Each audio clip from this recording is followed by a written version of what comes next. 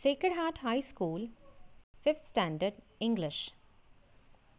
Introduction Communication is sharing or imparting information. Communication involves both the speaker and the listener.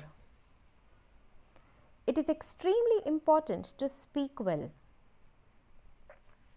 While some of us speak well with confidence, there are others who are shy. Some speak comfortably with their friends and relatives but become nervous and tongue tied in front of a larger audience. This lesson drives home a few tips regarding effective speaking or how to be an effective speaker. So let's begin with Unit 2, Chapter 11 Be a Good Speaker. This particular chapter we are going to learn it in three portions. First part points to remember when you speak. Second, points to remember when you take part in a discussion. And third, points to remember when you want to give a speech. So let's begin with the first part. Few things to remember when you speak. The first point says, speak clearly, don't mumble. Mumble means saying something quietly and making it difficult for others to hear it. Hence, it is extremely important to speak clearly. Next point maintain an eye contact. Maintaining an eye contact helps you to build a rapport with your audience and keeps them engaged with your speech. Next point not to be too loud or too soft, too fast, or too slow. It is equally important to keep your pace while speaking. It allows you to sound more confident and in control. The next point be polite and be pleasant. You can sound polite by using the golden words such as please, sorry, and thank you.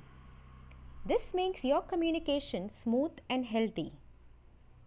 And being pleasant helps you in giving a sense of enjoyment and compliments. And the last point give a thought to the other person's feelings and interest.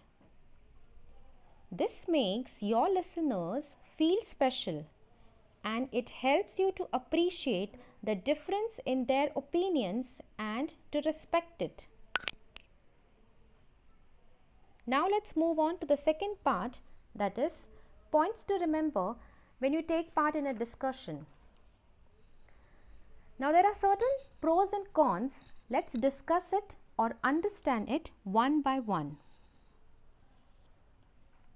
The first point allow others to talk whereas you don't keep on talking for the whole time. Second, listen carefully rather than interrupting. Third, acknowledge others and never ignore or deny others.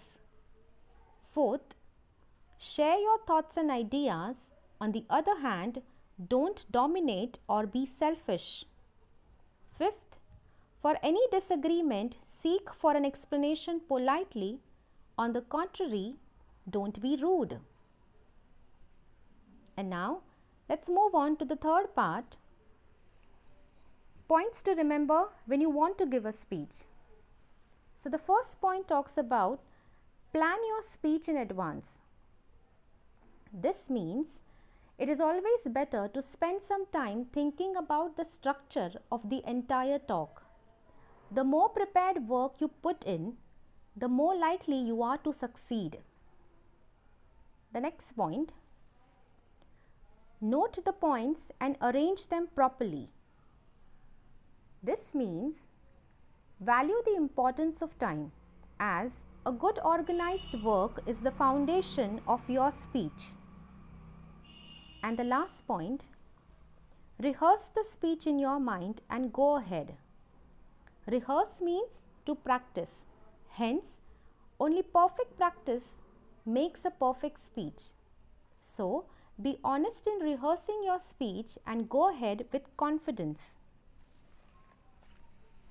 With this, we have come to an end of this chapter and I'm sure using these few tips will help you in your pursuit to become an effective speaker.